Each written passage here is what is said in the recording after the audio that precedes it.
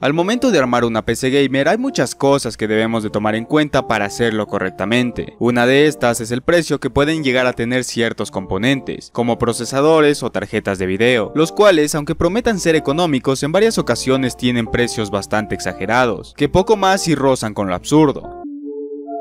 Pero ¿qué dirías si te contara que sí existen opciones verdaderamente económicas y que incluyen a ambos componentes en este caso, ya que al momento de comprar un procesador también estarías comprando una gráfica al mismo tiempo? Ahora mismo te estoy hablando de una APU, que si todavía no entiendes lo que es, pues es básicamente un procesador que incluye gráficos integrados. Pero no te confundas, no como estas jaladas que apenas estornudan y ya están pegando 2 FPS a 144p. Te estoy hablando de estos, que pueden llegar a tener un rendimiento similar al de una gráfica de características de gama baja, ya que podría permitirte jugar a lo que tú quieras, y sí, creo que también podrían con esas cochinadas que a ti te gustan.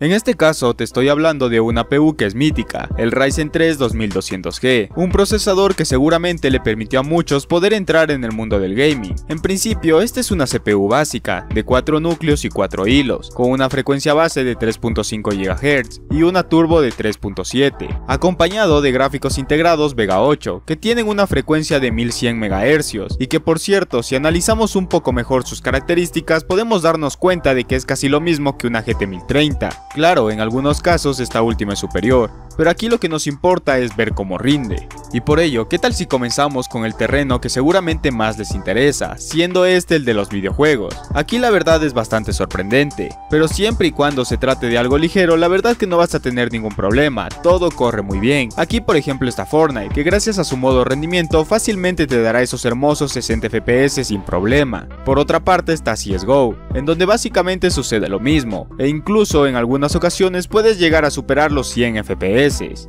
Así que esta APU es altamente recomendada siempre y cuando se trate de juegos poco exigentes. Pero todo se torna gris cuando tenemos que hablar del rendimiento que tienes si intentamos jugar a algo pesado, porque vas a tener suerte si con esfuerzos llegas a 25 FPS y poniendo todo al mínimo. Toma en cuenta que esta APU no está diseñada para esto, y si la piensas comprar para jugar algún título demandante, no lo hagas, créeme que no es para nada disfrutable. Pero toma en cuenta que seguimos hablando de un procesador de 4 núcleos y 4 hilos, que tiene la capacidad suficiente de exprimir hasta una GTX 1660 sin mucho problema, así que si pierdes por un lado ganas por otro, ya que por menos de 100 dólares vas a tener un procesador que podrá ser muy bueno si sabes utilizarlo, y a su vez gráficos integrados que te van a permitir jugar a cualquier cosa ligera sin mucho percance. Pero claro, esto tiene truco, no solo funciona así porque sí, toma en cuenta de que para obtener el mejor rendimiento necesariamente deberás de tener como mínimo 8 GB de memoria RAM. Esto es debido a que la GPU integrada no posee memoria VRAM, pero entonces si en lugar de poner 8 GB coloco 16 debería de tener mejor rendimiento, ¿no? Pues no funciona así. En primer lugar porque la VRAM no te garantiza tener un mayor rendimiento, sino más bien un espacio en donde podrás guardar más polígonos, texturas, etc. Y en segundo lugar porque tengo entendido que como máximo solo se ocupan 2 GB de memoria RAM, así que no serviría de nada colocar 16, 32 o 64 GB. Pero lo que sí va a hacer la diferencia es si la memoria está en dual channel, ya que si no la tienes colocada en esta configuración, la APU no tendrá un buen ancho de banda, por tanto va a ir más lenta, haciendo que el rendimiento sea inferior.